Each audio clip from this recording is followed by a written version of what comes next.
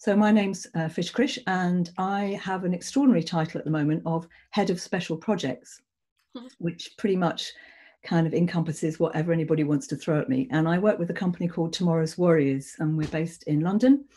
And we are a jazz development organisation, normally based at the South Bank, where we deliver our sessions.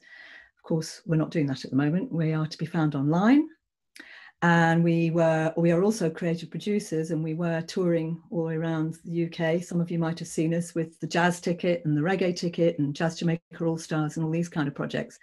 Hopefully we'll be back in may so do watch out for that. Anyway uh, that's enough about me i think.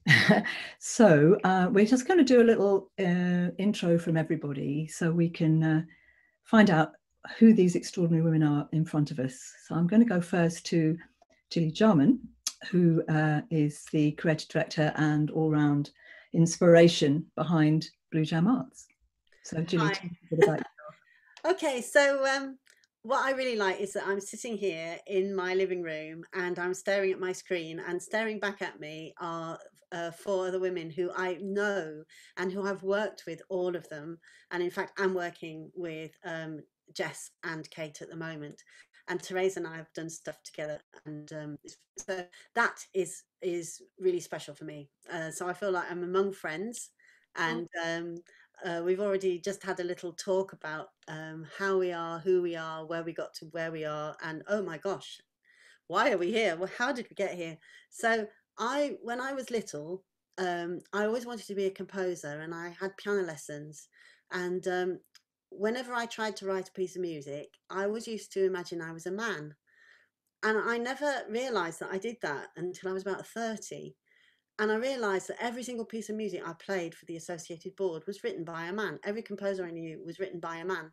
And if there's one thing that I want to say about what I do, it's about it's about um, allowing people to be who they want without thinking that they can only be if they look a certain way or are a certain way.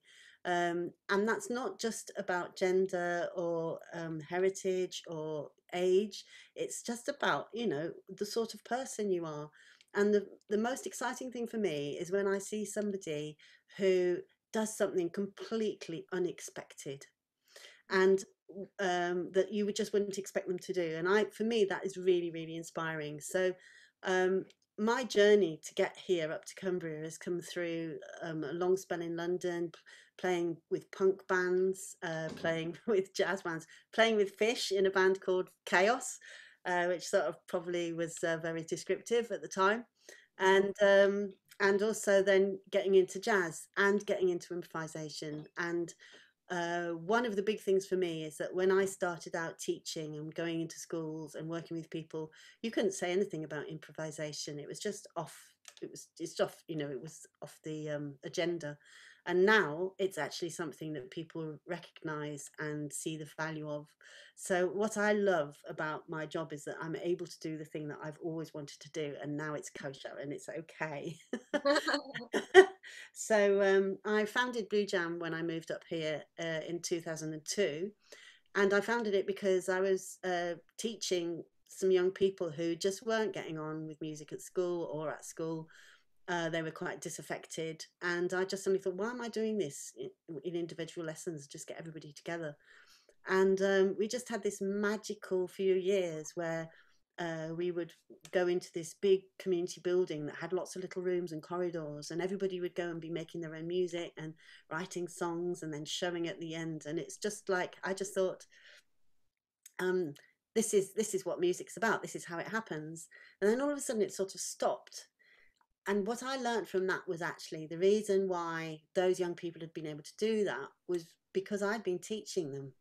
And the way that I'd been teaching them was to look at musicianship. So it wasn't just like you're learning to play the piano, it was like, this is music. How does it work? Let's take it to bits. You know, just as if it was a toy train and you're taking it to bits or a computer. And then let's see if we can put it back together again. Oh, we can make something else out of it. And actually, then uh, with that sort of um, way into music, it sort of takes away an awful lot of things. It takes away, are you good? It takes away, do you know how to do certain things? Like can you read music or have you done exams? Mm. none of that is important. All that you have to do is to have a little bit of creativity and a little bit of confidence and not be the be the toddler that's you know that won't let anybody else play with your bits of music and um and put things together and see what happens. And obviously that sounds like lovely uh, but it's also it's a skillful thing to do. You need a lot of skills to be able to do that but they're not all musical a lot of them are completely different. Um they could be about self-defense. I mean they could be anything. Um so i suppose my take on being a creative director is about being creative being like diagnosing things um project planning um imagining things um and and that's really because that's what i want to do for myself um actually so I'll just say one last thing, which is that um, I'm going on sabbatical, and uh, this is going to happen. I've sort of said this for the last ten years, but this year it is actually going to happen, and I'm going to go away and play. So that's that's me finished. That's wonderful. Actually, it's wonderful news for all of us because I think when you go away and play, you're going to come up with some amazing new pieces and, and uh, drink, go down into the depths of your own uh, own process, which will be incredible. Lots of questions have come up from from what you said there, um, especially you know talking about uh, enabling people to really just express themselves. I'm sure that will be a theme that we'll pick up on. But um, let's go around. So maybe T, if you're up for telling us a bit about what you do and how you got there. Oh, thank you. Uh, well, I'm my name is Therese, but I'm just more commonly known as T. Everyone knows me as T. Um, so I'm a drummer, um, and uh, nobody knows this, but I'm also a pianist.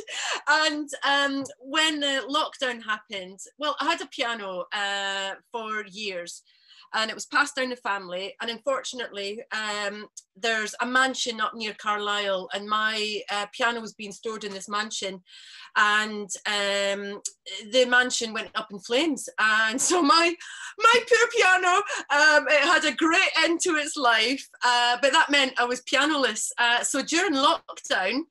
Um, my really good friend has been writing songs for Eureka Children's Museum, and every week I see him playing his piano. Oh, and I was just like, I'm going to get one. So um, I got one during lockdown. I've got it all set up, and it's just it's been the best thing about lockdown for me is getting my piano. So I've just been getting back into playing, but my, my main instrument I would say is drums, and that's where my profession has come from. Uh, so I play drum kit uh, currently with a band. They're called Horny Funk, and um, it's myself on drum kit. And there's two saxes, two trumpets, and one sousaphone. And we we play covers from um, uh, bands. Uh, there's a band called Lucky Chops, um, and there's a Youngblood brass band, and we we play their covers. And it's brilliant. It's really good fun. So uh, so that's my my playing side. Um, in in the year 2000, I was really lucky enough to meet an amazing, another amazing woman called Katherine Zeserson from the Sage Gateshead. Um, and um, basically, Cumbria was in the same funding line as the Northeast. And she said, I've got money. and we said, well, we've got an idea. So that was, it was like a perfect marriage of two things coming together and that's when um, I'm going to talk about them later. But basically, we set up a band called Boom Dang, and that was in 2000. So Boom Dang was always a project, and we were always funded uh, through the Sage Gateshead, and then later Soundwave, uh, a Cumbrian music organisation. And in 2007, uh, we weren't able to get funded anymore. We had to set up as a as our own company. So in 2007, I set up the Boom Dang Foundation, and it's a company limited by guarantee. And the strands of the Boom Dang Foundation are uh, a band called Boom Dang, which I'm going to talk about later. Um, we also specialize in, in our own in-house traineeship. Uh, so we really concentrate on workforce development. Uh, we do outreach workshops of all sorts, not just drumming. Um, I basically work with a load of associate artists and we can do we can provide any sort of workshop in any setting for anyone that wants one. Um, and the main project I run at the moment is in partnership with Children's Services. And we run music sessions for children in care. And uh, we, we as musicians, go into the residential homes of young people and we write tracks using logic. Uh, we create rhythms uh, we create guitar tracks. We've got a mobile recording studio um, and at the moment uh, that project is being funded by youth music and that one is called beat loop uh, because we use loads of rhythm beats and uh, loads of loops on GarageBand and Logic. Um, so that's kind of like in a nutshell who I am. And um, like I say, I'm going to talk more about Boom Dang as one of my achievements uh, later on in the conversation. So that's me. Thank you very much. Thank you. Sound, sounds amazing. Can't wait to hear something. um, right, Kate, would you be up for telling us a bit about what you do and so um, I'm based just south of Penrith, and um, I wear broadly three different hats. I've decided. Um, uh, I've done many, many, different kinds of roles um, since I graduated in '98. Um, so I'm an artist, um, and I, am a visual artist. I work in what I call an expanded practice. So I don't work in, in any particular kind of medium, although I do draw a lot and teach life drawing too. Um, uh, so my art might answer um, an issue or a question or um, a state of being, uh, and I'll respond to that in some kind of way. Um, but I can talk a bit more about that later if you like. Um, so that's one hat. Um, I'm also an illustration designer and I do lots of freelance work, which is kind of design work, sort of bread and butter money really, which I enjoy doing because it's drawing based and I love drawing, so that's great. And I'm also a project manager um, an advisor and have had lots of roles in sort of uh, project management, directorships, leadership development, mentoring, etc. Um, so on one hand, I'm an artist. On the other hand, I've been a business advisor. So I cover that kind of spectrum, um, which I find really fascinating. And I've realised that actually I, I graduated in '98 from Camberwell in graphics and sculpture, um, which was a real mixed bag and really great fun. And then I went on to do well. I organised the degree show um, and I was quite key a key member of the team there. And I found myself enjoying that organising as much as actually the making. Um, so that was a point I think where I thought, okay, this is a really interesting dynamic going on here. And then I did an MA in Arts Management. Um, and the reason I did that was because there was a big disparity in the languages between creative people and managers. I thought, well, what's all this about? They just don't get on, you know. What's what's the issue where where are people coming from and um, and I guess that fusion um, between the, the, two different perspectives I find really fascinating. So I I guess that's why I have so many different hats. And um, yeah, I, I, really enjoy that energy. I like organising, I like managing, I like the concepts of different management and leadership. Um, but then I like to have a break from it and make work. so yeah, um, it's an interesting one, an interesting dynamic. So I'm at the studio at the moment. Um, it's a, a, an arts and wellness studio. Um, so we do the whole breadth of activity. We have arts and music and performance and visual arts. Um, and then we have, um, you know, yoga and, and, Pilates, but with a sort of wellness thing in mind. So um, lots of different scope for activities there and for people's well-being. And we're a community interest company. Um, so any profits go back into the into the company for the benefit of the community. Um, and this is where my studio is too. And at the moment, during lockdown, it's it has been my studio. It is a bit of a mess. but we're opening in two weeks, and I'm in the middle of trying to get it a bit cleaner and tidier. well, we can't see anything more. It looks very lovely from where we're looking. So, do you actually run the studio as well? Is that yes. part yeah. of your, one of your yeah. hats? Yeah. Yeah. Well, I'm very keen to for us all to look at the whole thing of, of juggling. It's not usually put on the uh, on the job description, but I'd say it's essential essential feature. Juggle, good juggling required. It's an interesting area. Thanks very much, Kate. I look forward to hearing more. So, Jess, over to you. Hello. Um, so I am a freelance creative project manager. So I work with lots of creative directors to make their ideas happen.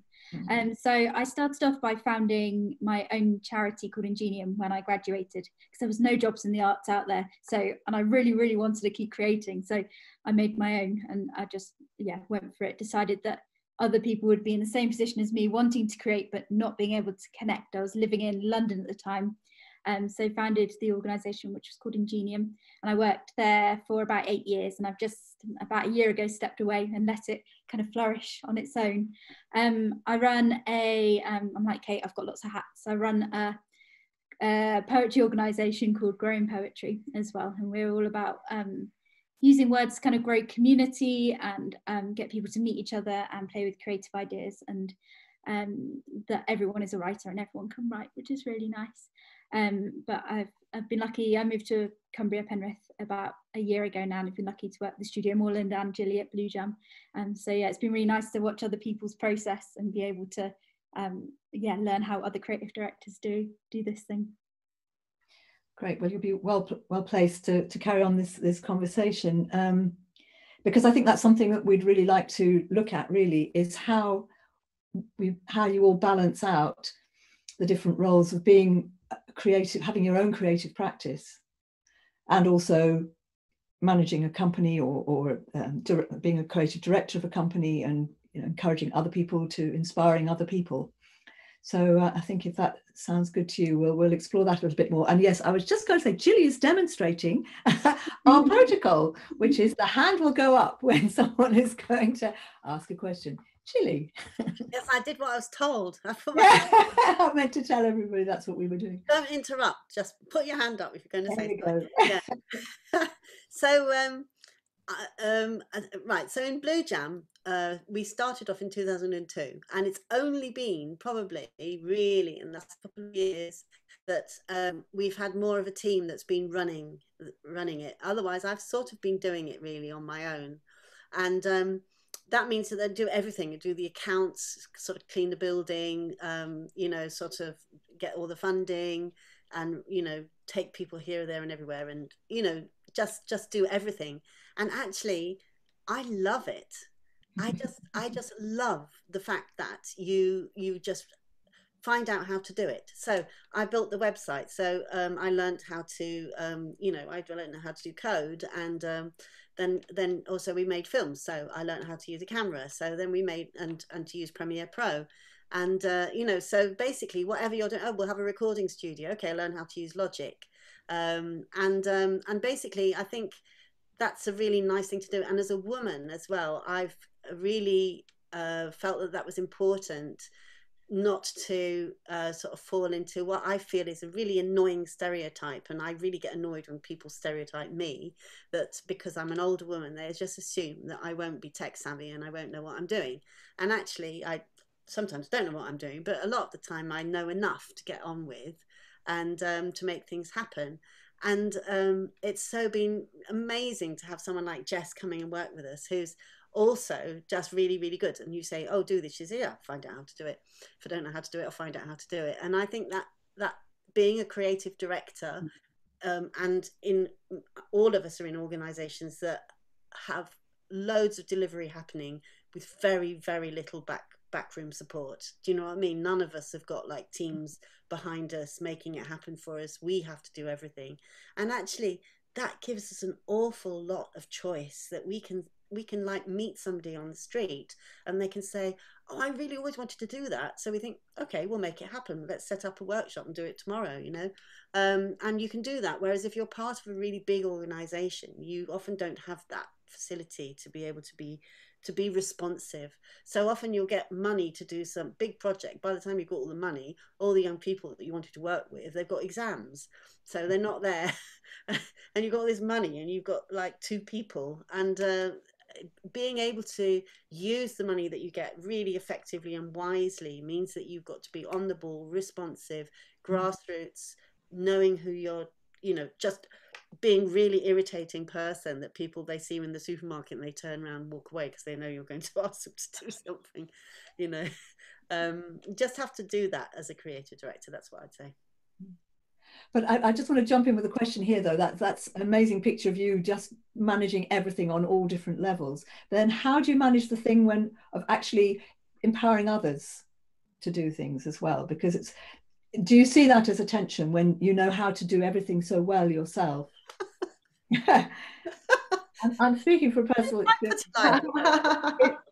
I mean, maybe and somebody else might want to jump in with that. You know, when you when you have got a lot of skills and you're used to really sorting it all out, probably at quite a speed. It's it's very yeah. Mm. It's it's very it's very easy. Uh, uh, yeah, when you when you you have to. I'm quite similar to Jilly in that uh, I'm at the helm of my own ship, and I do exactly the same and it's sometimes quite difficult to get volunteers on board so you know for the music nights for example that's a saturday night so you come in and set up and do the gig and then you're the one left at midnight cleaning the toilet you know but that's kind of all part of the game isn't it really um but um so in terms of empowering others and and and being so used to juggling the balls all yourself sometimes it is a bit difficult to let go because you know you can just go and do it really quickly um, you know, I went and bought the lino today for the new the loo, and I'll probably go and put it down tomorrow and just get on with it. Whereas sometimes it feels like trying to do, you know, the roundabout thing to get people on board to help is it's a lot more long-winded. Um, but it's also about letting go, isn't it, Jilly? well yes and i i just wanted to say that um, i am learning how to do that i'm learning how to let go and uh, i've got a great team now um, mm-hmm. and they're ignoring me which is absolutely brilliant and exactly how it should be um, but i just wanted to say like i did um, a training session w- w- which t ran uh, and i just suddenly thought like you know what that approach that t has where you're sort of like you lay things out you set things out everybody knows where they are and what's going to happen next um, and and I know that there is there are two sides to what I do. One of which is being able to sort of move around what's there can make some people feel quite nervous because they don't quite know what's going on. And it make other people feel, yes, this is what I want because I'm not going to be pigeonholed. And I think it's I think it's being able to sort of walk somewhere in the middle but I, T, I just was so impressed with what you did and your team and how and how everybody just has their has something has the space to say something, you know. Can you tell us a bit about that, T? Because it sounds like you've got quite a different sort of approach in a way. Well, that came about because um, so in this project that uh, that we're running with Children's Services, um, there was a, a, section of it that was about sharing our practice with other similar organisations. So in the other universe, we would go, uh, we say we would have gone up to Penrith and would have been in the lovely space that Jilly provided, we'd have had all their instruments and uh, we would have been face to face with people and we'd say, right, this is what we do it like this because of this, and then we do this but because the, and we always have reasons and for our methods. So uh, when lockdown happened, I spoke to youth music and we just juggled the budget a little bit and we created an online sharing of practice session and it lasts one hour and we've gone on tour with it. So that's a positive that was one of the positives that i was going to talk about later on. But basically uh, in my project there's two project leaders me being one of them and my colleague phil. And then i've got three trainees demo will and kane and uh, within my project uh, in the other universe we would met once a month uh, for four hours and it would be a hands-on making music together devising new uh, sessions uh, with me and phil being present uh, and we'd be the lead artist but we'd always be handing over to our trainees so with on with creating online, we did exactly the same approach, and uh, I I just uh, I basically like do a lot of nurturing and enabling. And so I didn't want the session to be me and Phil, because we're the project leaders. I wanted it to be me and Phil and the trainees playing an equal role. So if you wouldn't even know they were trainees. So we worked a lot with them on like delivery and uh, we all worked together to create the various sessions uh, that we all ran for Jilly. So we ran five different aspects. Each one of us did, um, did one of those aspects, but we must have worked for about six weeks, really perfecting them. Uh, so uh, so now the, tra the trainees are they're just they've just excelled so much because we're meeting them every week. And that would be a positive i'll talk about later on when when we talk about that. You you can talk about it now if you like actually. We don't have to go if you okay if you about the positives of what you're doing why not? Uh, so it was to do with, uh, I would say that was the real positive that I thought has come out of lockdown is the fact that I have um, been able to really work with my uh, trainees. And me and Bryony had a little chat at the start when when because I was a little bit early for the meeting. Um, and um, if we're not running a session with an organization uh, I I task them all with uh, we still we do you know if you do a zoom meeting you've got to do a quiz always. So um our we meet every wednesday at two o'clock till three and if we're not working with another organization then each of us will run a, sec a section of the quiz. And uh, you know the positives that i see coming out of that is about developing their presenting skills is developing their confidence um, it, the clarity on how they're uh, getting the information across. Um, so it's not just a quiz. For me it's about uh, there's lots of other elements that i know that's happening with with the the team of people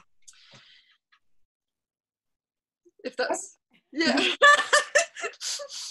It sounds it sounds it sounds brilliant. So basically that's how you you've got that very particular style of, of actually really encouraging other people and training them as well uh, around around a project. I'd say that's uh, it's a style of leadership that i've always had whether being in bands. So uh, like you would never know i was the leader. Um, I'm never one to stand out in front or, or, or try and stand out. What I try and do is just have everyone is sort of like equal, um, if that makes sense. So even when I'm running music stuff, um, I would never stand out in the front. I would always like be be in part with the participants um, and leading from leading from that way rather than at the front.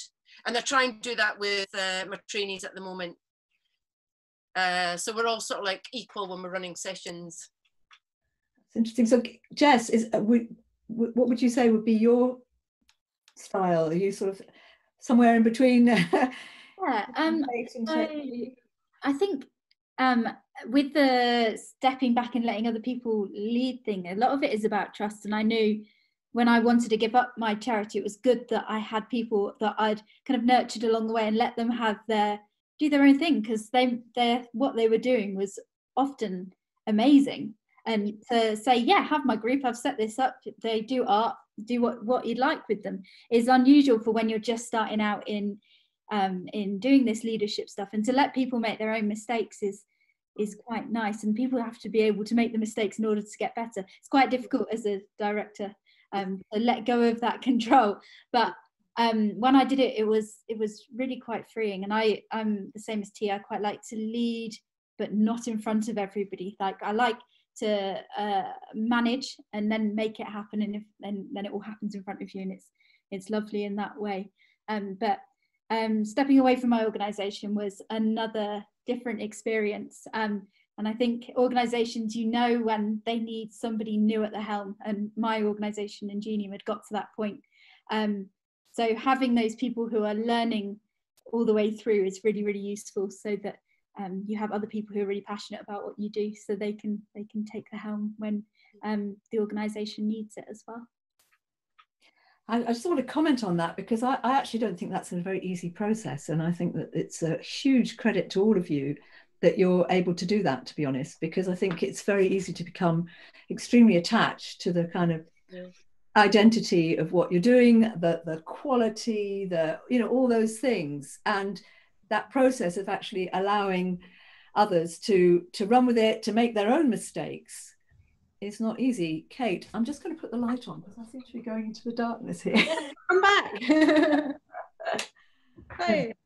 um, no i totally uh, um just taking what jess and Tia just said absolutely. And um it's sometimes well, it's about empowering people isn't it? And, it, and it's about creating an environment um, and kind of facilitating an environment and, and, making a space for people to allow people to feel safe and trusted, you know, and trustworthy um, and relaxed enough to be able to explore.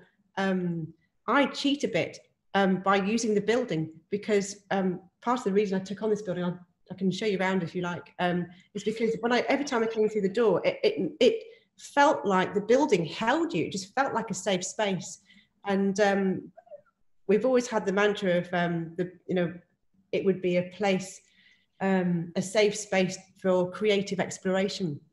So I, I, I kind of use that, and, and it's so it's absolutely lovely when you see people come through the door who haven't been here before, and they might be um, a group of children with learning difficulties, or young carers, or um, people who haven't drawn before, um, who, who come to a drawing session, and they come through and go, "Oh, a nice space," and then automatically sort of kind of get into the whole relaxed atmosphere of it, and then are able to express themselves um, through whatever the activity is. And it's and it's not always me that's running those sessions. I have to say, and um, we've got a lovely bunch of practitioners and, and leaders who actually run the sessions. Um, but it's incredible to witness it, uh, the transformation of people when they come through the door, and because it's quite scary going into an unknown venue, you know, and you can't back out. It's a kind of a one-way thing. Um, so with we're opening um, in a couple of weeks um, an exhibition which is coming up and what we're actually do is we've got a back door onto a croquet lawn and gardens. Um, so we're going to instead of being that environment that you go into and it's quite scary we've said to people it's a through flow um, and you can enter and then go out the back and it's quite a safe um, thing to be able to experience. So hopefully um, it'll bring people through the door who might not have gone in across the threshold before so it's for us it's about environment as much as uh, mm. leadership so yeah. Jilly you wanted to say something? Yeah i just wanted to bring in this whole thing because um, i think this is a it's a real nugget isn't it? It's a real sort of point that you need to sort out and you need to make it work. And i think that one of the things i'm really proud of is how many people in BlueJam one are going on and they're they're using music as their as either something that they really enjoy or for a lot of them as they're living. Actually, we mm-hmm. have an awful lot of young people who are now signed artists or they're in bands or they're composers, they're recording, um, and or, or, they're teaching.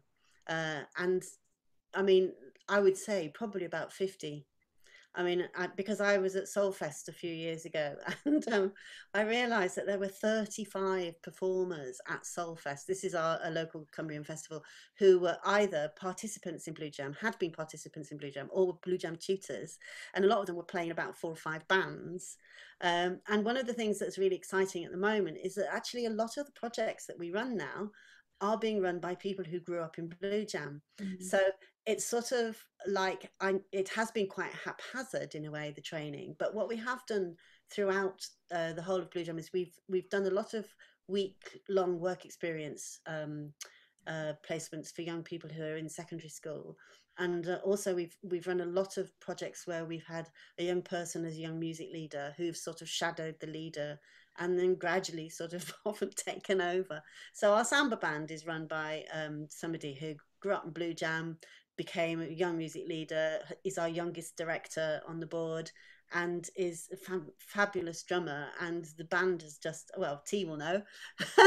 I'll name him Josh. You know, he's just a really, really, really exciting young leader and, um, and is just taking the band from strength to strength.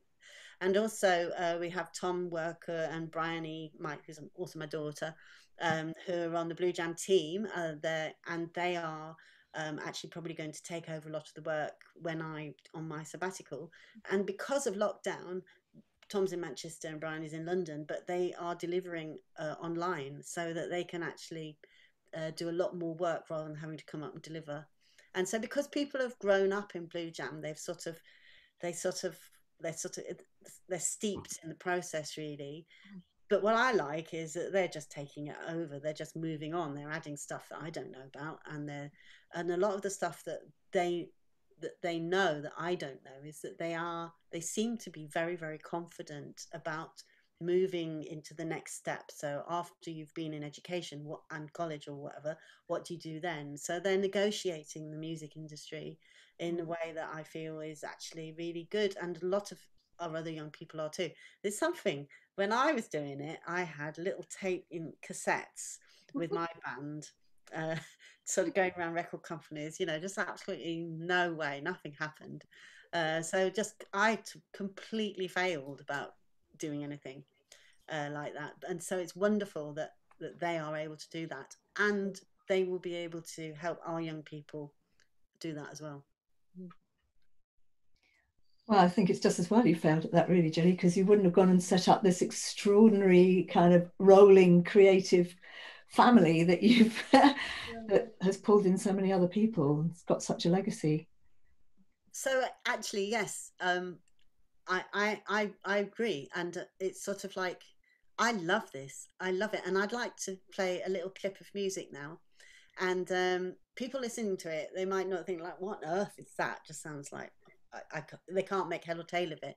Um, and what I'd like you to imagine is that there is a young person for whom music is a real way for them to express a lot of difficult emotions.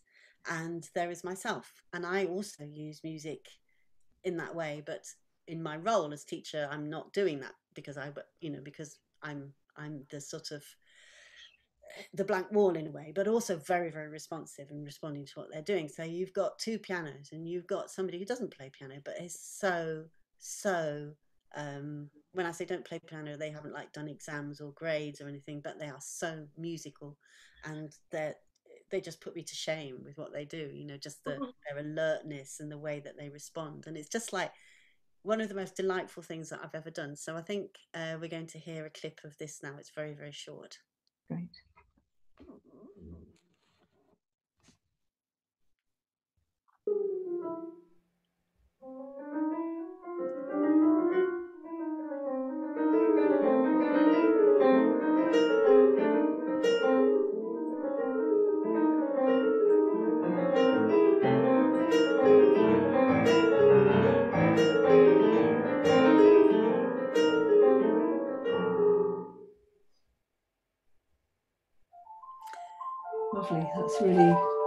Very inspiring, isn't it?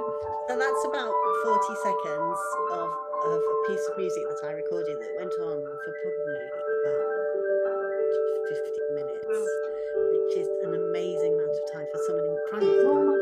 Uh, yes, primary school to just sort of have that level of, of sort of focus and concentration. And um, so for me, that is that improvisation. You know, just just play and something happens, something changes, something moves. Mm.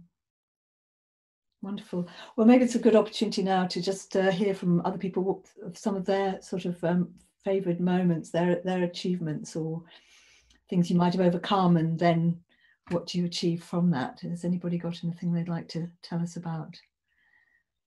T, if you've got something over there. um, so uh, I'm going to we're going to uh, see a little uh, 42 minute uh, clip. Um, and but first of all, I'll introduce the clip. So um, when we were chatting earlier before we went uh, live, we, it was about uh, what our our what we think is our greatest achievement. I mean, I've, there's loads, but this one is just very close to my heart. So um, it's my band. It's called Boom Dang. It's been go. It was set up in the year 2000. So we're now in 2020. And when we set out, we did loads of recruitment all around the schools in Barrow and Dalton. Uh, we made all the drums ourselves, so they're they're uh, they're exclusive to. They're called boom dang drums because you play them on their side. They've got a bass skin and a high skin. It's like boom dang.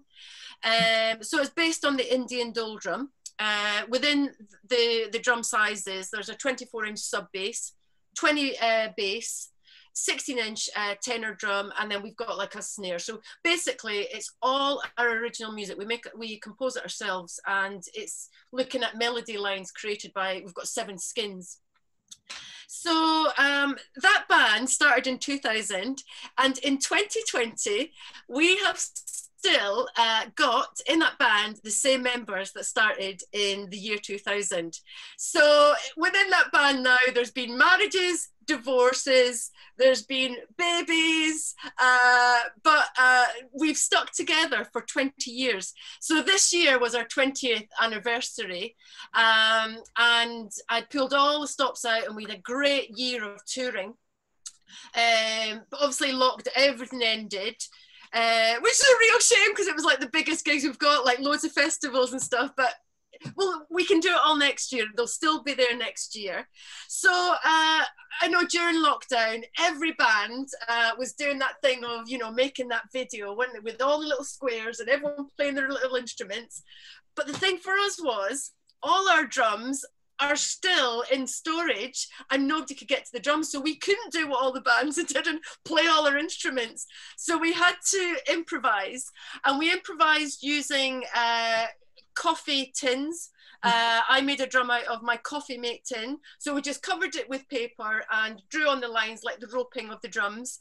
Um, and uh, we, we played a bit of a joke on everyone because we made it we did an illusion so the drums looked massive um, and looked like we are playing real drums and then we all step away and the drums are like ridiculously tiny so that was our lockdown video and i think bryony this might be the time to play that video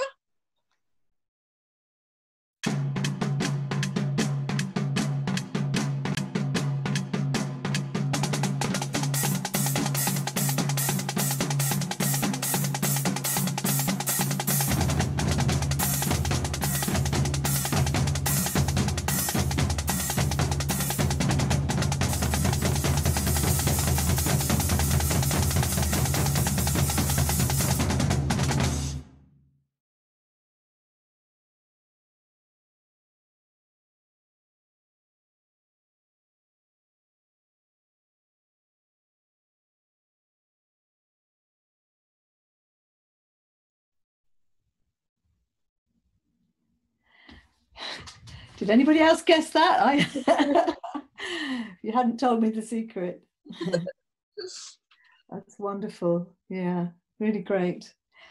Um, so I think maybe it, it might be a good moment to sort of start looking towards the future. And I mean, you, you two of you have described these these uh, families really that you've created. I mean, I can't believe that you've been going with the same band for 20 years. I mean, that's that's the Guinness Book of Records stuff, I'd say. um, so yeah, there's the question of succession, how you how you move things on, which we've touched a bit, but also what would you say to anybody now who's listening to listen to all these amazing stories and thinking actually yeah you know I, i'd like to be able to do this i'd like to get involved i'd like to be able to do my own creative practice to run my own company. Yeah, Jess. Um, so when I started, I knew nothing at all about. Um, I knew a bit about the creative arts, but I didn't know anything about setting up a charity. I didn't know anything about finding money or anything like that. But I had an idea, and I think as long as you have an idea and something you want to do, you should just run with it. And you can learn about the, the funding stuff and the, the charity organization governance and all that sort of stuff later.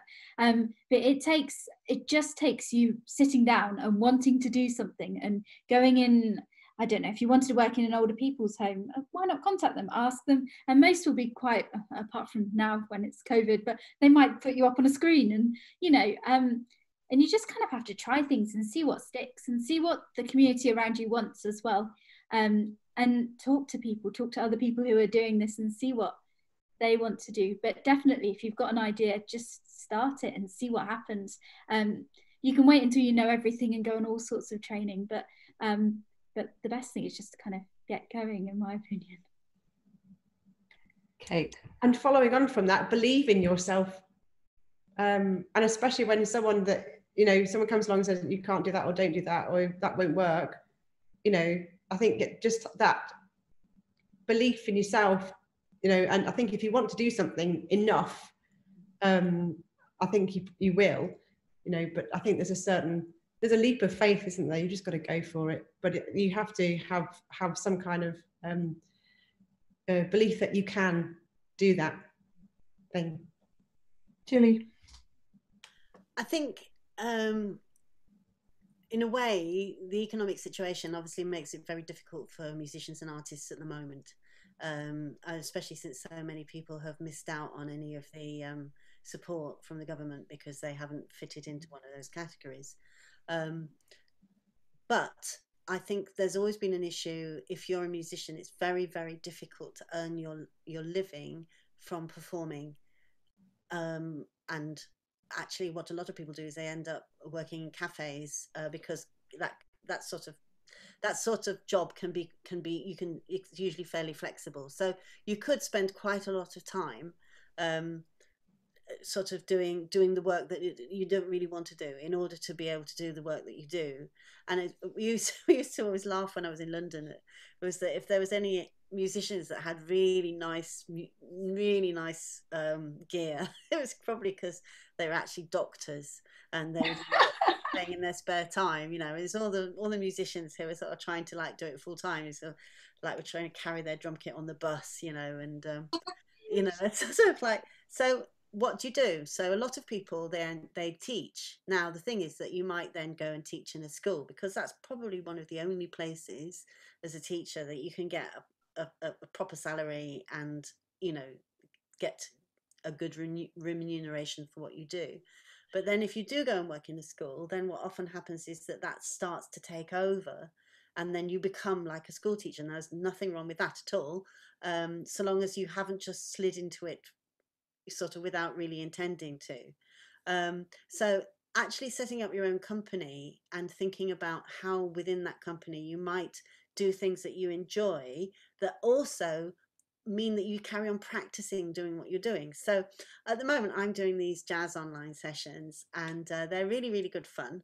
Uh, and I have to like uh, research the piece that I'm going to do, and I get to play the piano, and I get to sing, and I get to improvise. And basically, I'm sort of moving on my skill while while passing that on to other people. So I think you it may be that you actually another string to your bow is that you're really good at stage management okay? So you could have that role within a company that you set up or it could be that you're a good recording engineer or maybe that you want to set up um, as some of our young people are your own um, you know record label or whatever. So i think that um, being a it's much easier nowadays to set up a company than it used to be. They've made it a lot easier.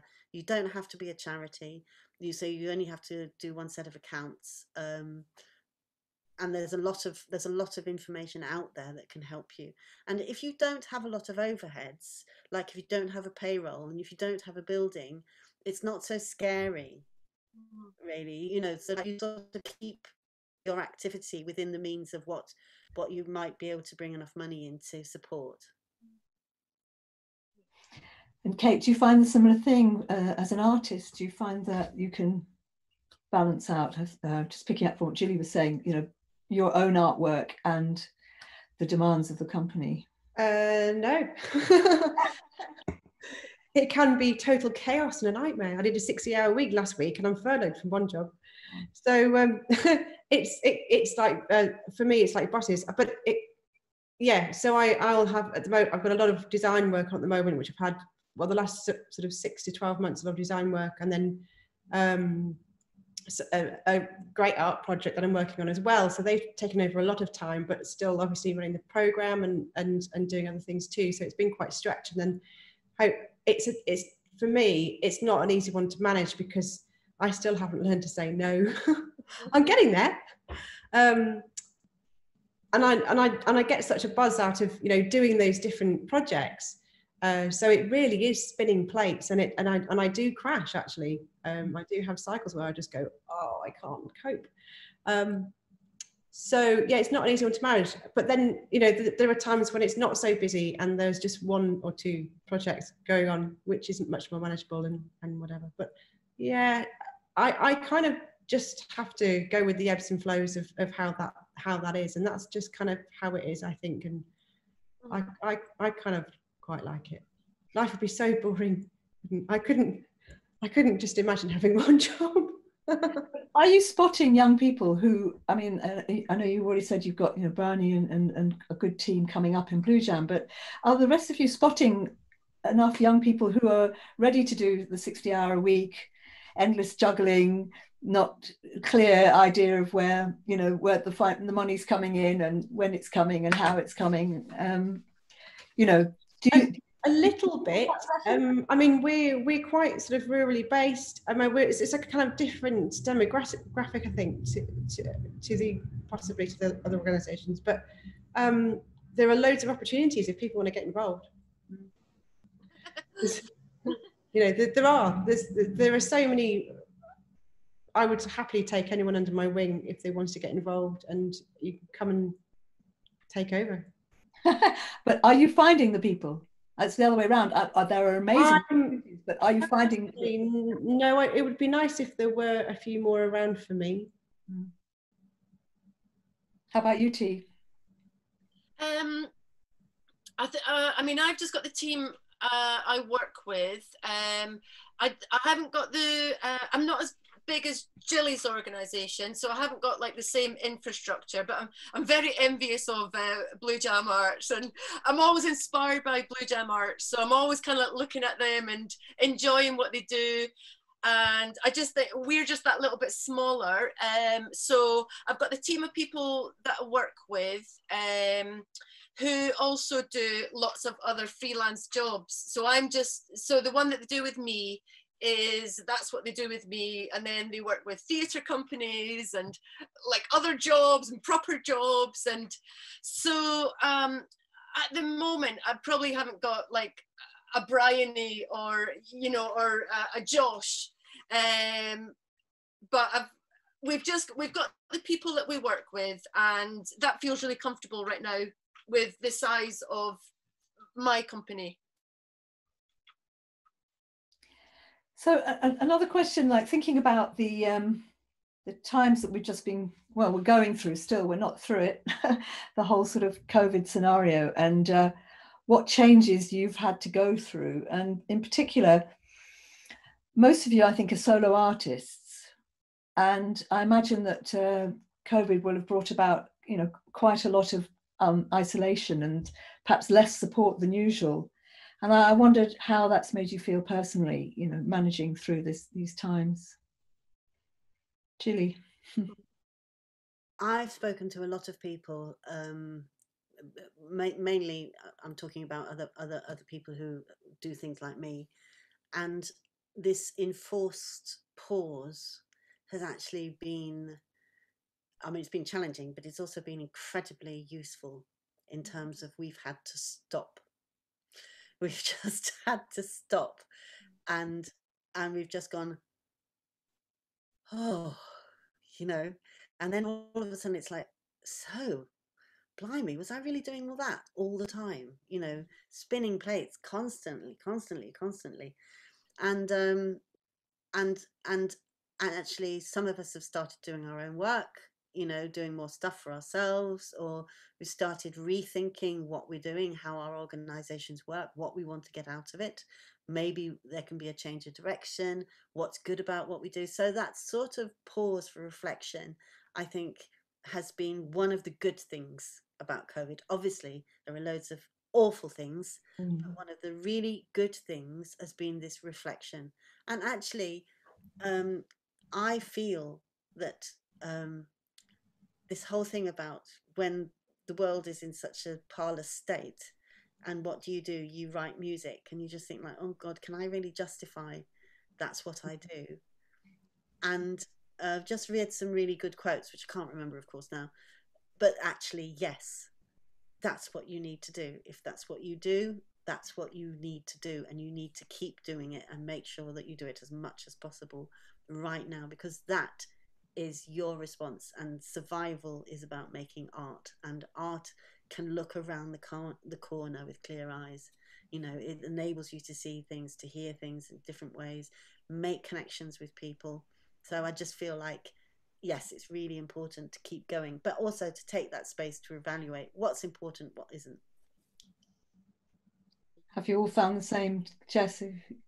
How's it been for you?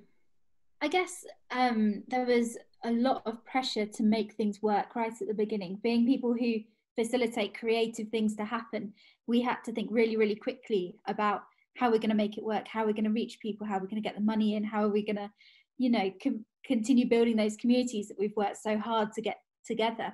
Um, so I know that a lot of people that I've worked with found that beginning bit at least really, really frantic. And we're not quite at the stage yet where we've been able to have that time to think about our own practice because we're so busy kind of sorting out other people's practice. Um, and it is a balancing act, definitely. But I think that's almost a strength of creative organizations that we can be in this situation and produce so many things um, that other people can do and be creative themselves. So even though um, probably with my stuff that I'm doing, I've not been able to pause and write beautiful poetry. I've been able to help other people to write and create their own things. So in a way, that's my practice too. And if this isn't a time where I'm going to be writing stuff, that's okay. um, everyone reacts differently, I guess, to to these these circumstances. Yes, I, I was going to mention that a, a, musician friend I was chatting to was saying that actually she found it a very uncreative time. That mm. It had had a completely opposite effect, which I think in itself must be quite difficult to manage because of the way Jilly was describing it. You'd almost think, yes, hooray, we've got space and you know, the world's not knocking on our door and we can create. But what if you can't? I didn't feel like that at all. No. Part, I didn't feel like that at all. Um, partly because I was too busy and wanted to have time off, wanted to have that pause and couldn't.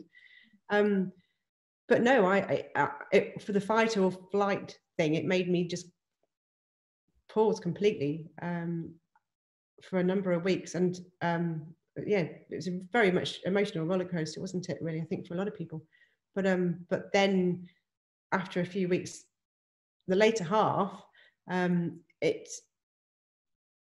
became more apparent how we could help people. Mm. Uh, I, and I think, um, and what what role we could play um, in helping people uh, locally in the local community. So we've made this yellow box of delights, um, and I think yeah, I think um, it's it's not an original idea. I think a, a, number of organisations around the country have been doing similar creative packs, but we've created. Um, Jess has been a1, I have to say, on this one. She's been super project management there. Um, really brought it together. Uh, we brought a grit box basically, um, and uh, we're making two editions, one for July and one for August. And there are packs for families and younger people and packs for older people um, and their creative um, activities and, and, activities for well-being as well. Um, and they've flown out basically. I think people have really enjoyed them, and I think particularly um, for people who are not on on the internet or who have had internet overwhelm. I mean, the internet went crazy, didn't it? And lots of things online, and oh, we'll have this, and it really made me, uh, from a director's point of view, not want to do lots of um, workshops online because there's so many about and they're done so well. So I'd rather share something that's been done really well rather than, you know, try and replicate it um, somehow. But we have put our practitioners online, uh, which has been good, um, and try to support our practitioners as best as possible. But the, the yellow box has been lovely, a lovely thing to do. Looks lovely, wonderful. We're coming towards the end, so I just wanted to remind anybody listening, if you've got any questions that you want to ask any of these amazing uh, creative people here, then please do just uh, send them through. Um, I, I, was going to, I don't want to be a downer, but I was just wondering how you're all viewing this very uncertain future. Um, I mean, you've described wonderfully how you've dealt with the actual current, the crisis that we've just been through, but we're still looking at such an uncertain future, particularly from performance point of view. And I just wondered how, how you're feeling about it, what your thoughts are. anybody. well, as a as a venue, um, it's really uncertain. We've got some funding until March, um, and past that we haven't. So if it continues, we might well close. That's just black and white. Yes, Jilly. So uh, we also have a building in the middle of Penrith, and uh, obviously we've not been having any rent coming in. I mean, any money coming in to pay the rent.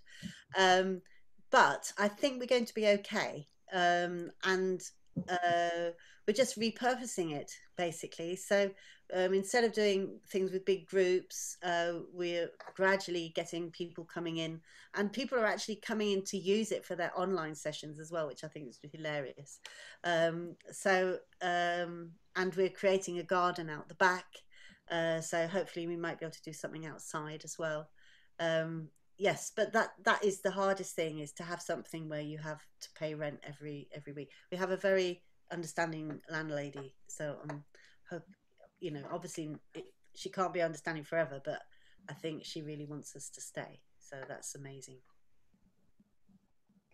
Well i mean if anybody can get through all of all of this i mean creative minds can definitely do it can't they? We'll definitely be devising new ways. Um I think I've come to the end of all my questions. I don't know if anybody else has got anything that they would really like to say before we, we finish up um, that we haven't said. Uh, I would like to, oh yeah, T, go ahead. Say I made a. Uh, it's just made me giggle. I made a little list about. Um, it was when we were talking about um, the balance of a freelancer and then being a and being and a facilitator for others. And it was a list I wrote down at the very start. I'll just read it out to you. Yeah. Uh, lots of organising of people. Uh, uh, sending out dates to people, jiggling dates with people, uh, bookkeeping. Uh, that's something I had to learn. Invoicing, paying. You're also a counsellor. You're an auntie. Uh, there's lots of loading and unloading. Uh, and that was my that was the list I wrote at the very start. I just thought I'd like to get that out because it's like a job description. Absolutely, it, it all sounds very very familiar, and you can.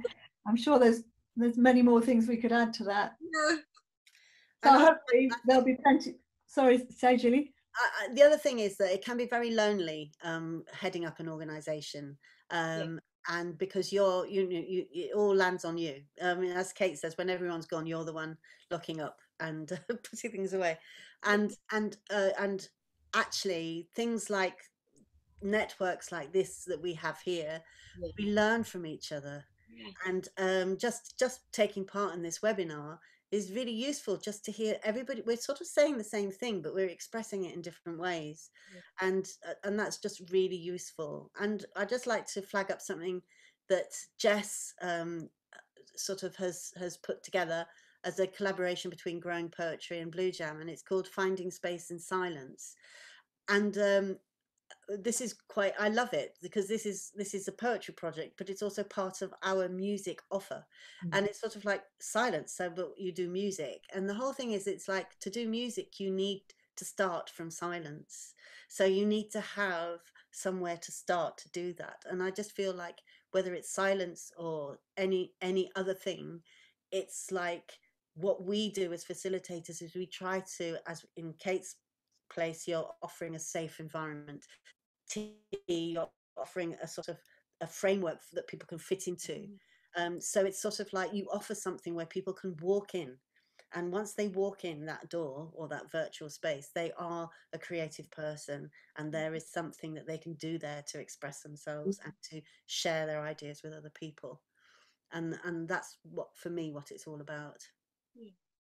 Well, I I think I don't know if it's something about the northwest, the the kind of communities that you're living in, but I can definitely. It feels to me from reflecting from from down here that's you you've got much more obviously much more space and much more creative space to to create to have those kind of settings. I think they're so much harder. Those kind of ungoal orientated settings are so much harder to uh, to to really achieve in, in London or to create in London. I think uh, we we definitely are much more goal orientated here. I don't know. Uh, That's interesting. I'd quite like to take that conversation forward another time. yeah. it's always good to leave on an. on well, that's, that's the next uh, that'll be webinar number 17 I think it's actually it's quite interesting the way that the way that location and environment Mm. Affects your ability. I was looking at what you're doing, Kate, and obviously so much of what you do is is very inspired by the environment and uh, the the whole kind of mood and gentleness of of, of the, is a reflection of having time and space. I mean, as opposed to a kind of more urban environment. Yeah, it's something really interesting to explore. We're very lucky. We're very lucky. well, I'll have to come up and have a look around. I've still not made it up, have I, Jilly? now you're going on sabbatical. Oh dear. Well, we wish you well, honestly. Um, it will be a, it- it- very exciting to see where you get to, both in reality and in your creative practice. So uh, I think it's time to wind up and thank you all so much. And thanks for inviting me to take part, actually. It's been wonderful to, um, to meet you all and to hear about what you're doing. And I'm going to hand over to Jilly to give you all the final sort of taglines for where to, where to find out more.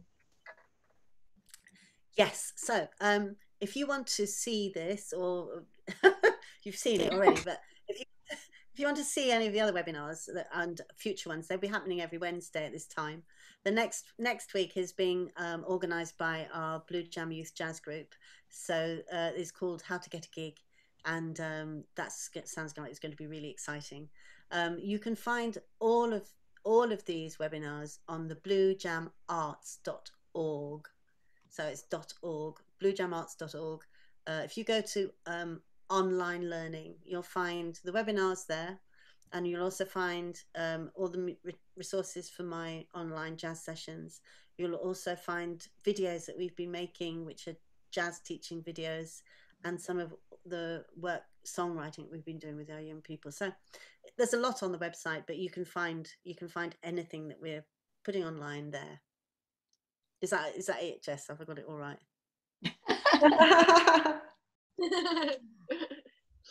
very good. Well, thank you, Fish, very much. Thanks a lot, everybody. It's lovely to meet you all.